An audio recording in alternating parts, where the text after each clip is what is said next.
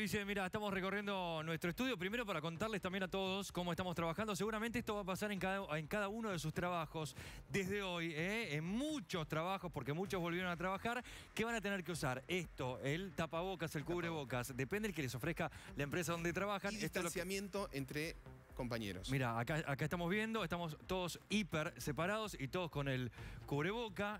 En este caso acá también tenemos a otro de nuestros compañeros, que está. Solari acá. Y te voy a mostrar lo que pasa en la redacción. Estamos exactamente igual. Mira, cambio la cámara. Así ustedes ven, primero que la redacción está vacía. ¿Todos Sí, con somos- tapabocas? Somos, muy pocos, pero tenemos muchos compañeros trabajando desde sus casas, ¿no? Muchos desde su casa, pero mira, me pegó un pique para tratar de mostrarles a todos ustedes cómo están trabajando en esta, en esta situación. ¿eh? Todos con el cubre y con el tapaboca. Acá lo tenemos a Martín, ¿eh? uno de nuestros compañeros, Martín Pretusca.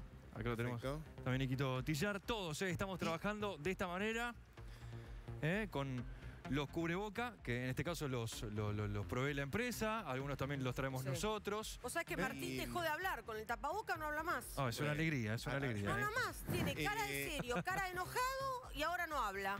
Vamos. Ahora, el, te- el tema es que le empezamos a conocer, por ejemplo, a nuestros compañeros qué quieren decir solamente por los Lejos, ojos. ¿eh? lejos. Ahí está. Lejos.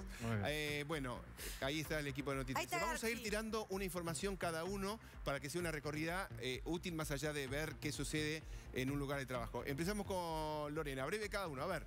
Bueno, eh, adiviná cuántas personas fueron detenidas o demoradas desde el viernes 20 de marzo por violar la cuarentena. ¿Cuántas?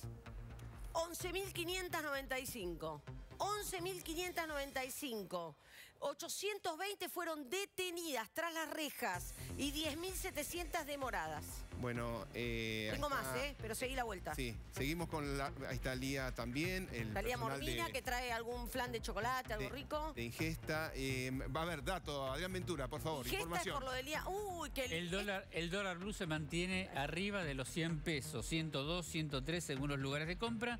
Y el dólar contado con liqui también. Bueno, eh, Volvé con Gustavo Barco, que lo queremos saludar. La idea es eh, mostrarte, imaginamos que muchas oficinas que retoman la actividad eh, se están adaptando. Diego, la idea es adaptarse, ¿no?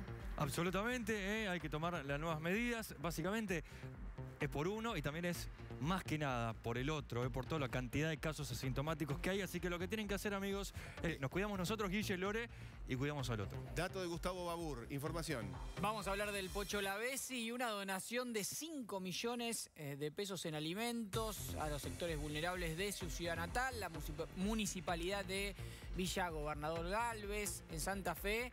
Van a repartir bolsones con productos para ayudar a los que más necesitan. Gran gesto Bueno. del Pocho Lavesi. Nos está viendo Andrea, que está internada en el Fino Quieto, así que con nanas, así que este, acá el equipo de TN eh, Mirá, te saluda. ahí, mirá el dron eh, a través del cual estas, estas imágenes aéreas, donde lo podemos ver caminando por toda esta hermosísima redacción. Es un placer trabajar acá, es muy linda la redacción, muy cómoda. Lo estamos viendo a Diego Poggi. Un beso a Gustavo Barco, que hace mucho que no, no trabajo con él y a mí Y- me gusta trabajar con él. Y te llevamos información, ¿sí? Sí. ¿Qué está sucediendo en Argentina y el mundo? Eh, tema sanitario, tema económico, tema político y social. Bueno, eh, Diego, eh, tu conclusión de la recorrida a las 12. Eso, Guille, ¿eh? todos los días estamos aprendiendo de esto que está pasando. Nadie estaba preparado, pero lo importante es estar atentos a recibir información de calidad, estar seguros y seguir lo que dice el Ministerio de Salud y también lo que va diciendo cada una de las empresas. Nos tenemos que adaptar y nos tenemos que cuidar entre todos. Ahora, el uso de tapabocas, indispensable a partir de hoy. Vaya un gran